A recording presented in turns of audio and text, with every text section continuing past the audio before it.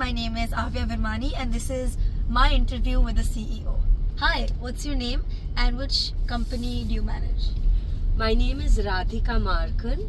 I manage a company which is called H and K Rolling Mill Engineers Private Limited. H, it's a German collaboration company, so H stands for Hoistenbusch and K stands for Klutsch. Uh, we are the world's largest suppliers of a technology called Thermex. Thermex Oh, quenching wow. and self-tempering technology. It's a Ah. technology which has transformed the way construction happens not just in India but across the world. Okay, wow. So, your, my first question to you would be what is it like to be a CEO of this company? A lot of hard work. A lot Yeah. of hard work, being on your toes 24 by 7, 7 days a week. We supply this technology to the steel industry, and the steel industry does not sleep. Literally, it works seven, Seven days a week.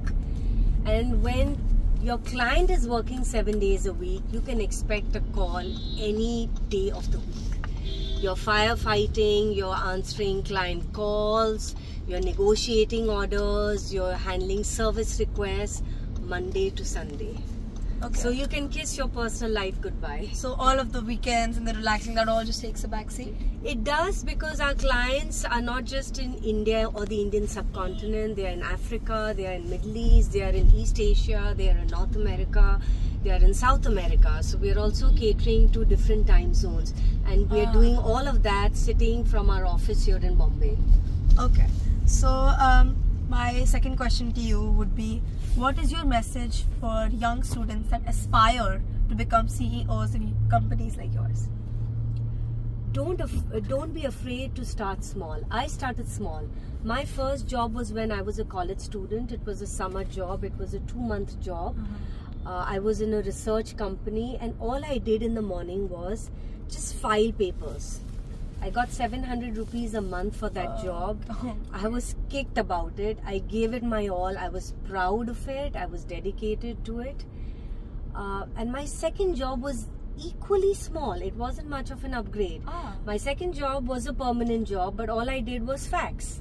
I got 2,500 rupees and I was like over the moon. I was like, what am I going to do with all this money? Today, 2,500 is nothing. But back then, it meant a lot to me. Yeah, And I yeah, gave that job the best I had. I gave it the respect that I des- that it deserved. I gave it all my passion, all my dedication.